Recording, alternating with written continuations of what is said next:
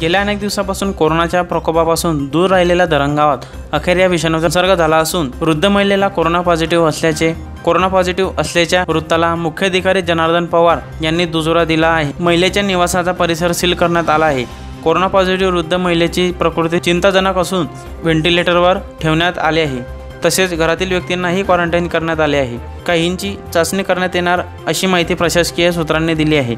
धरणगावसाठी प्रतिनिधी Mahendra Chaudhary India News Express, Maharashtra.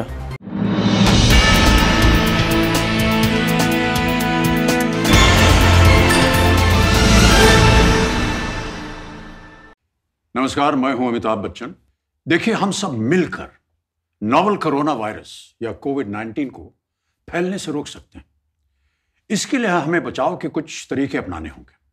खांसते या छींकते समय हमेशा अपने मुँह को रुमाल से या टिश्यू से ढकें। इस्तेमाल किए हुए टिश्यू को तुरंत ढक्कनदार कचरे के डब्बे में डाल दें। अपनी आँख, नाक और मुँह को हाथ से न छुएँ आप।